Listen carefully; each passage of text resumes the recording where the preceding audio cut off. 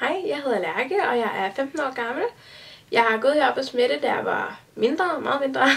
Øh, men nu er jeg så startet heroppe igen, øh, for at få lidt mere energi og bare sådan generelt få det bedre. Og det, det har jeg også fået. Øh, jeg døde rigtig meget med mavesmerter og hovedpine hele tiden.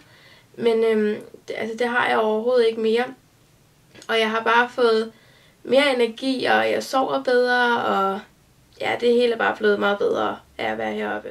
Og derfor vil jeg da anbefale dig at få gjort noget ved det, du nu indgår og fejler, i stedet for at bare lade som ingenting.